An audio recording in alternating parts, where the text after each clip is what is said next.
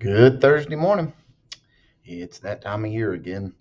Hope everyone's having a great day and finding some rest here in these chaotic times. Um, but I hope most importantly that you are preparing your heart, um, not for the hustle and bustle, but for celebrating the true meaning of Christmas. Um, we want to go ahead and get into today's devotion. Um, echo Brother Jody's comments, beginning of his devotion there. Um, appreciate Brother Tommy uh, and, and all that he does um, for the church, um, all that he's done for me in my life. Uh, obviously, that is my father in law and the father of my beautiful bride, and my best friend. So I thank you most of all for that.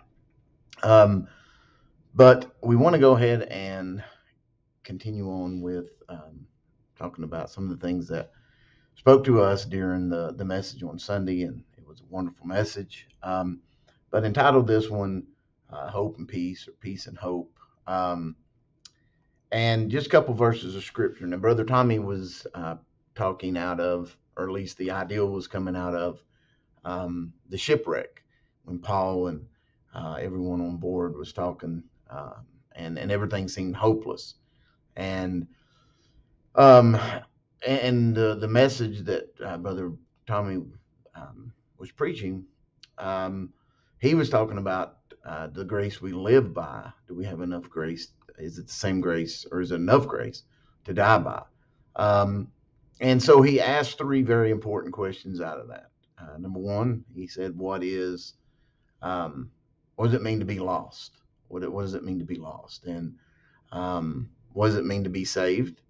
And then he talked about conviction. Those were the three topics that I wrote down in my notes. And, you know, um, we live in a world who tries to sensationalize everything, uh, always looking for, you know, uh, a middle of the road to ease conscience, uh, to justify our own beliefs, whatever it might be. But, you know, uh, you can read God's word and you find out that there's two sides. There's the saved and there's those that are lost. And everyone comes from one being lost to being saved because of conviction. Um, and conviction obviously is that um, the spirit when he um, you know kindly pricks our heart of we you know we start understanding the the you know age of accountability, what's right, what's wrong, and everything else. And the problem with it is, is a lot of people in the world today, and you look, watch the news and videos and things like that, and you'll see that you know most people don't want to be um, having a age of age of accountability. They they want to still through whatever um, believe that they still have the right to do what they want, how they want, as long as they want, and there'll be no repercussions from it. So they deny the convicting spirit of what's right and what's wrong. Um, but a couple verses of scripture that came to my mind as as he was preaching those. One is John 16 and 33. It says, These things I've spoken to you, that in me you might have peace. Uh, and then he tied that into uh, Paul and the shipwreck and how that they was going to be saved through that. Uh, but then he also talked about um, James Wilson, who uh, a big part of our church as well, and had passed uh, here in the last little bit. But um, and he was talking about that and and the peace that he had of being ready to go.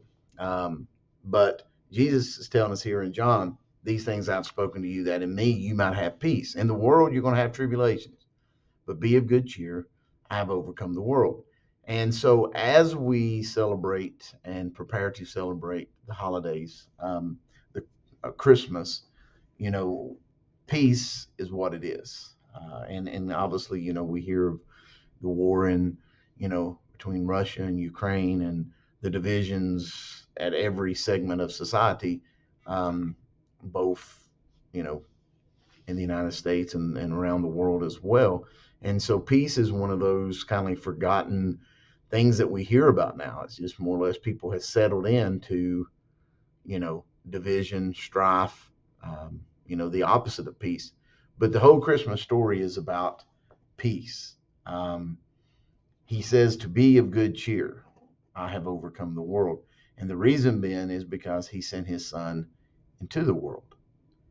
And then in 2 Corinthians 5, 6 through 8 says, Therefore, we are always confident, knowing that while we are at home in the body, we are absent from the Lord. For we walk by faith and not by sight. Um, again, Brother Tommy tied that in of, of faith. Um, we are saved through faith. Um, God's grace we accept through faith. Through faith, even though we wasn't one of the shepherds or the angels that was at the birth of our Savior, we we believe that through faith that He was born um, and laid in a manger uh, of a virgin birth, and that He walked on this earth. We accept that by faith. We accept by faith that He hung upon a cross, being the perfect sacrifice and dying for our sins. Um, and by faith, we believe that he resurrected. Um, he is in heaven. And as his word says, he's coming back.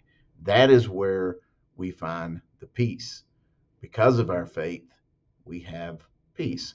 None of these events have we seen the birth, the death, the resurrection, but we believe. We are confident, I say, and willing rather to be absent from the body is to be present with the Lord.